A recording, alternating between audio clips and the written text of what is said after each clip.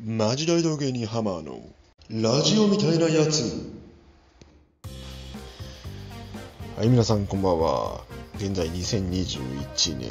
9月21日火曜日の午前5時14分です。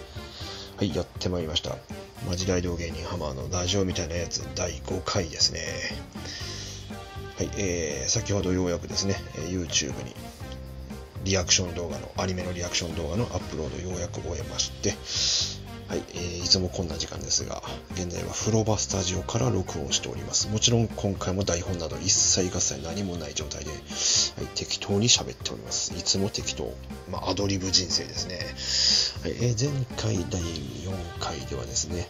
会社を辞めて次マジックバーに入るまでのお話をしようということで今回やっていこうと思います。あ、今日もリクエストが来ておりますね。えっ、ー、と、何々、えー、京都府宇治市のニャンパスエクスカリバージュのサイドさんからのリクエストですね。はい、では聞いてみましょう。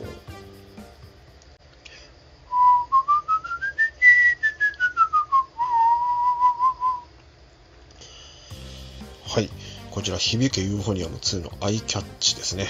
はい、短。僕の髪ぐらい短いですね。言うてますけれども。はい。どんだけ響けユーフォニウムが好きなんだというところですけれども。はい。では早速ですね、行ってみましょう。えー、僕がですね、えー、会社を抜けたのが2006年の1月31日。まあ、1月いっぱいということで。なので、25歳になって3日後に抜けたというところですね。さあ、ここからどうやってマジックバーに入ったかなんですが、まずですね、えー、2ヶ月無職しまして、4月にですね、1件バイトをしました。1件というか、えー、その時は、まあ、あのいわゆる農協ですね、農協の、えー、下請け肥料の配達だということで、日給が1万円で、あ、これすごくいいなと思ったので、えー、まあ、応募して、まあ、面接行ったんですけれども、まずは郵便局の仕事をしなくてはいけなくて、3トンのワイド、ロング、人生で、えー、こんなでかいのに乗ったの初めてでした。はい、でまたここの会社の社長の息子が強烈な人でしたね。はいまあ、横乗り期間が、えー、5日ぐらいかなあったんですが、えー、まあ、それで走るルートを覚えてそのところ、えー、その頃言ってたのがあの井手町あ、じゃない、木津川市かな。まあ、井手町というところ通るんですが、井手町というか、まあ、道が細くてですね、はい、まあ、そこを僕が運転して、助手席に社長の息子が乗ってたんですが、はい、あの、原付がいたので、まあ、普通に追い越したわけですよね、右から。追い越し禁止とかじゃなくて。はい、するとですね、いきなり頭パーンしばかれまして、いたと。お前、まあ、原付見とったか、こら、と。ほんまにこんな喋り方です。見た目は誰かな？まあ、眼鏡かけたインテリ系、180センチぐらいあって細い人なんですけども、まあ、やっぱ運送屋さんだけに、力がすごいある人でした。やっぱ足ばかれて。いや、見てたからちゃんと抜かしましたやんと。まあ、僕も若かったんでね。まあ、抜かすんやったらお前もっと安全に抜かせと。いうことで、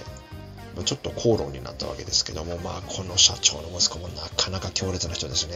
バイトはすぐ辞めていってましたけど、まあ、僕はもうバチバチ言い返して、ね、言い返しながらやってましたけどもね、相変わらず若かったので、はい。まあ、これがですね、えー、1ヶ月か2ヶ月トラック乗った後、まあ、これがね、朝の6時から夜の8時半、9時ぐらいまで仕事してました。朝6時からですよ。はい、まあ、これも日給1万円でしたけども、まあ、そこからようやく念願かなって農協の、えー、下請けに行ったわけですが、さあなんとこの時初めて僕は宇治の笠取という地域を知ります。25歳にして。それまで笠取を知らなかった。はい、笠取とはどこかというと、えー、響けユーフォニアム2の2期、えー、あの2話、3話で出てきます。合宿所のある場所です。まあ、宇治とは思えないぐらいど田舎でしてね、えー、市役所まで車で3、3いや、40分ぐらいかかるかな。山奥の地域。はい、あのー、まあ、農協なんで肥料の配達行ってくれるかっていうことで、あ、肥料の配達なんですが、あのー、君宇治やったよねと。ちょっと宇治走ってほしいねんけどって言われて、ああ、マジっすか。じゃあ行きますって、どこやねん、これ。と。はいまあ、地図見ながら行った思い出がありますね。まさかそこがね、えー、その時は2006年なので、えー、13年してからね、聖地巡礼で行くとは思いませんでしたが、さあ、なんとですね、まだお話ししてなかったんですが、僕は、あの、お茶の工場にいた時に、実は右目の角膜が剥がれる大怪我をしておりまして、これがですね、近所の、えー、眼科に通ってたものの、2年ぐらい通っても治らず、2、3ヶ月に一度は再発して、その度にもう目が開けれなくて痛す痛すぎて、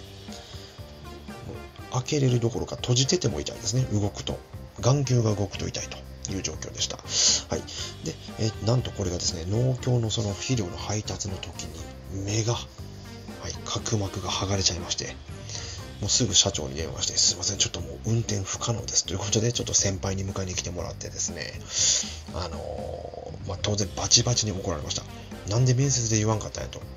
いや、ちょっと言ったら受からへんと思った、まあ、そういうことは言っとかなあかんぞと。もうそんなの無理や、君は使えへんということでクビになっちゃいましてね。8月に。2006年の8月ですね。さあ、それは、えー、当時東京の中野区の、えーと、京都銀行の寮母さんをやってた母。女神寮の寮母じゃないですよ。京都銀行の寮母をやってた母にちょっと電話したところ、じゃあちょっと東京の病院で見てもらいといいところあるから、ということで行きましたら、なんと発の診療で治ったんですね。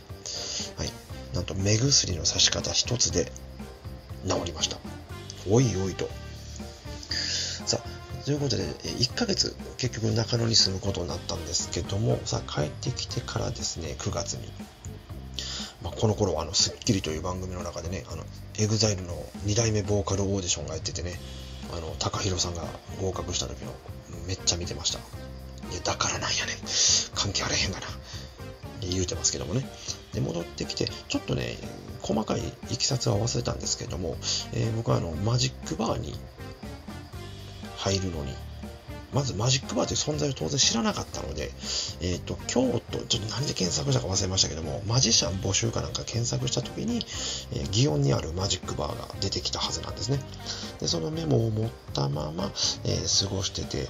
たちょっとね、どれぐらいやったかな？忘れましたが、まあ、9月戻ってきて連絡をして、えー、まあ、面接のアポを取ったんですが、なんと高熱を出してしまって、えー、そのアポ取った日に行けなくなったんですね。で、えー、実はもう、モバゲイというもので、2004年ぐらいかな ?2005 年かな、え僕がマジックを始めたのが2004年の11月30なので、え2005年ですね、に、あの、9歳年上のあの趣味でマジックやってる方と知り合いまして、で、まあちょっといろいろ会話してる中で、あ、今度マジックバーの面接受けるんですよって言ったら、あ、じゃそれ僕も行きますねと、行っていいですか？って言うんで、まあ一応あの、許可を得て、2人で行ったわけですが、えっとね、その方もまあいかつい方で、僕もどっちかというといかついと言われる方でして、当時は168センチにして80キロ後半ありました。はい、そんな、えー、で、しかも、まあ、ほぼスキンヘッドに近い、まあ、今もそうですけどもね、一番短い時は、にサングラスで黒いスーツ、えー、ネクタイの色はちょっと忘れましたけども、それにアタッシュケースを持っていたんですね。アタッシュケースの中に道具を入れてたんで、はい、じゃあちょっとやってみ、あの、マジックをまず見せないかんなんですけども、第、第一声が、肩着の方ですか？と。はい、その面接を担当していただいた方が、まあ、この方は後にね、あのお世話になる先輩になるわけですけれども、うん、まあ、そこで、えー、あ、肩着ですよと、2人とも肩着ですよという話をして、はい、そこからまあ一応あの10分の、まあ、マジックのルーティン、テーブルマジックのルーティンを見せてほしいということで、まあ、受かりました。さあ、そして受かってめでたくですね、初、えカウンター、マジックバーのカウンター、まあ、いわゆる舞台ですが、え初めて立ったのが2006年11月14日火曜日やったと思います。はい、この11月14日が僕にとってのデビュー日でございますんで、あと2ヶ月弱ですね。で、えー、芸歴が丸15年を迎えます。さあ、ここからがまた苦労の連続でした。はい、どういう苦労をしたのか。これはまた次回第6回でお話ししていこうと思います。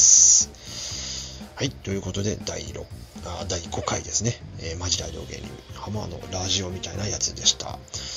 い。あの、また質問や何や、えー、何やら、何やらって何や、えー、ございましたらコメント欄によろしくお願いいたします。はい。それではまた次回第6回でお会いいたしましょう。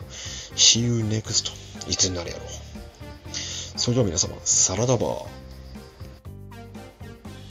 この番組はチャンネル登録者の皆様の提供でお送りいたしました。